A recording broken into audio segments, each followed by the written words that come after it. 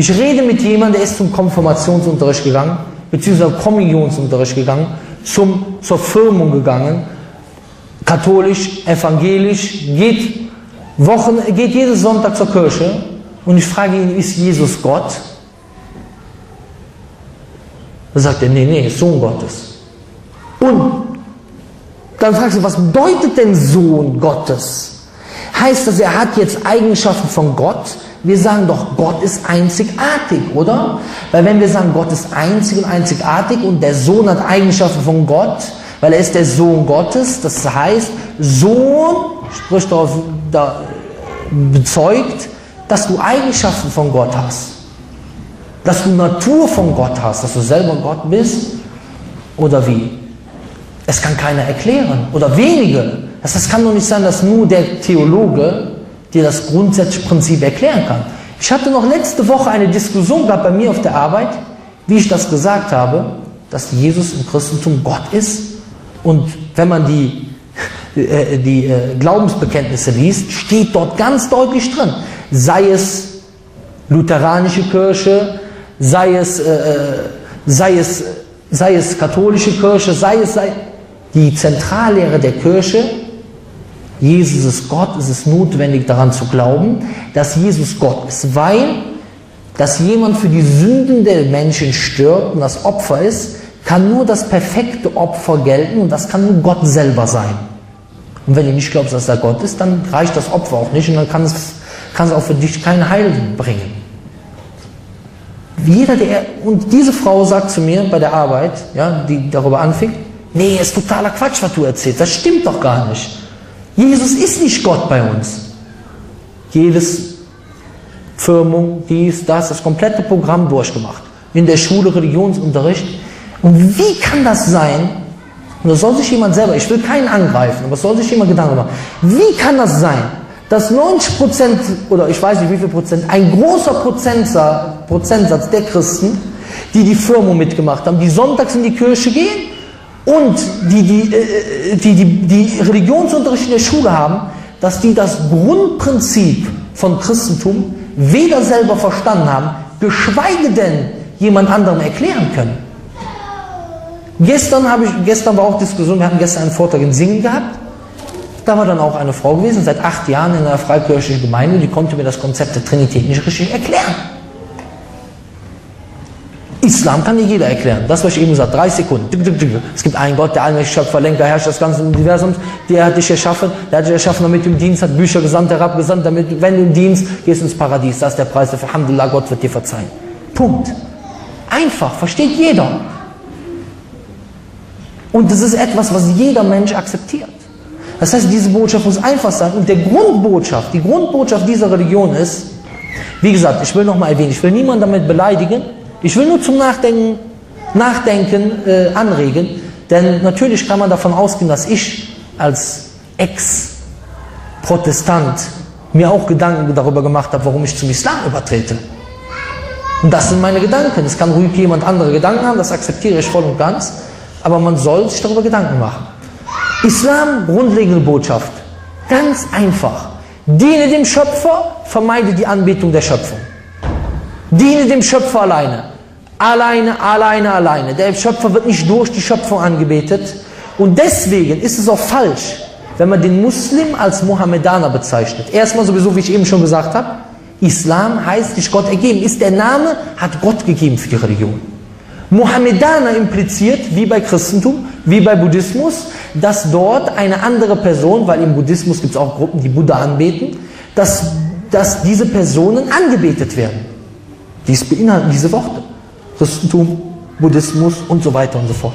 Aber Islam verneint es ganz entschieden, dass der Prophet Mohammed in irgendeiner Art und Weise angebetet wird.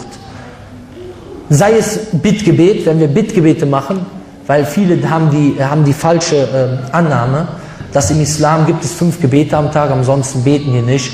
Och, das sind einfach nur hoch runter. Bei einigen Leuten ist das vielleicht hoch runter, aber wer das Gebet richtig verstanden hat, bei dem ist es nicht nur hoch runter. Das ist ein Vorurteil, was keine Hand und Fuß hat. Sondern wir können immer beten. Ich kann jetzt beten. Allah, öffne die Herzen von allen Menschen der Schweiz. Amen. O allmächtiger Gott, festige mich in der Religion. Oh allmächtiger Gott, lass uns heute heil, heil nach Hause, heil zu Hause ankommen. Oh allmächtiger Gott, gebe mir Weisheit in der Religion. Oh allmächtiger Gott, gib uns Weisheit. Und zeig uns das Wahre als wahr und hilf uns, es zu befolgen. Und zeig uns das Falsche als falsch und hilf uns, zu vermeiden. Amen. Ich kann immer beten. Wenn ich draußen fahre, da brauche ich nicht erstmal äh, Abdes, also Wudu zu machen. Und dann fange ich an zu beten. Ich kann im Auto beten. Ich suche einen Parkplatz. Oh Gott, sei, mach, dass ich einen Parkplatz finde. Kein Problem. Wir sind 24 Stunden. 24 mal 7 heißt unser Motto. 24 Stunden am Tag, 7 Tage die Woche sind wir mit Gott verbunden. Das ist Islam. Nur falls jemand diese falsche Annahme hat, ja? So, und die, und die Botschaft ist, die grundlegende Botschaft ist, dass man Gott in seiner reinsten Form anbetet. Und was viele Leute schockiert, wenn wir zum Beispiel andere Religionen betrachten, wir sagen zum Beispiel Christentum, weil die meisten werden wahrscheinlich Christen sein, die hier nicht Muslime sind. Wenn wir sagen, warum betest du Jesus den Menschen an?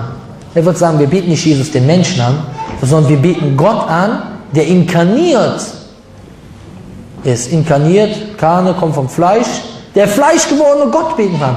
Aber im Endeffekt betest du die Schöpfung an. Im Endeffekt endest du, dass die Schöpfung anbetest. Vielleicht wird das jemandem deutlicher, wenn er Hinduismus betrachtet. Hindus glauben an einen Gott. Viele werden denken, wie Hindus, die haben doch tausende Skulpturen. Ja, aber sie glauben an einen Schöpfergott, Brahma. Aber sie glauben, dass es, dass Gott sich in verschiedenen Elementen manifestiert hat, Tiere, Menschen, Steine und so weiter und so fort. Und deswegen werden diese Dinge angebetet. Aber wir sagen ganz eindeutig als allererstes, Gott ist Gott. Und Gott ist ein deutlich getrenntes Wesen von seiner Schöpfung. Und wenn du ihn als Mensch machst, dann hast du ihn niedriger gemacht als Gott. Im Falle von Jesus beispielsweise oder Krishna. Du machst ihn zu Gott oder Osho und so weiter. Machst ihn zu einem Mensch, inkarnierter Gott, der vielleicht von anderen Menschen, wie im Fall von Osho, gefangen genommen wird, kein Visa bekommt für irgendein Land, Rückenschmerzen hat, Asthma und so weiter. Im Falle von Jesus, wie Christen behaupten, wurde er getötet von anderen Menschen. Wir sagen, Gottes Eigenschaften sind immer Gottes Eigenschaften. Wird jemand sagen, kann Gott nicht alles tun? Ja. Alles, was ihn zu Gott macht. Aber laut Bibel kann Gott auch nicht alles. Zum Beispiel steht in Jesaja, Gott kann nicht lügen. Weil Gott ist wahrhaftig. Und es wäre absurd zu sagen, er ist gleichzeitig wahrhaftig und gleichzeitig ein Lügner. Es ist absurd zu sagen, er weiß alles, aber ist dumm in der Schule, Und der Islam beschreibt Gott immer mit den vollkommenen Eigenschaften. Kannst du sagen, er wird Gott ein Moskito und dann hast du ihn gefressen? Subhanallah, das ist nicht Gott, sondern Gott ist Allahu Akbar. Größer als alles. Wenn du ihn kleiner machst als das, ist er nicht mehr Gott. Und deswegen ist diese Annahme sowieso absurd. Und diese Annahme würde jede, würde jeden Schwachsinn zulassen. Weil dann könntest du sagen, ja vielleicht hat Gott ja die Bibel offenbart, die ist nicht verfälscht worden. Und in der Bibel steht drin, du musst dich taufen lassen, Apostel Paulus, Römerbrief 6. Dann hast du den Tod von Jesus auf dich genommen und so weiter und so fort. Und dann, am jüngsten Tag, wäre es ja dann möglich, wenn du sagst, ja, ist kein Problem, wir können Gott auch mit negativen Eigenschaften ein, äh, beschreiben, so wie einige Leute bezeichnen. Ja, wenn ich sage, Jesus ist Gott und er ging auf Klo und hat gegessen, hatte Angst und so weiter und so fort, ja, beschreibe ich ihn mit negativen Eigenschaften. Dann ist, wenn du jetzt kommst mit, ja, okay, Gott ist ja Gott, kann alles, ist anders als du denkst. Ja, wir sagen, Gott ist anders als wir denken. Im positiven Sinne überlegen, dass wir uns sie nicht vorstellen können, aber nicht im negativen Sinne, also zur Ameise, du trittst sie platt. Weil, ansonsten würde jede, jeder Schwachsinn könnte man dann zulassen. Zum Beispiel wäre es dann möglich, was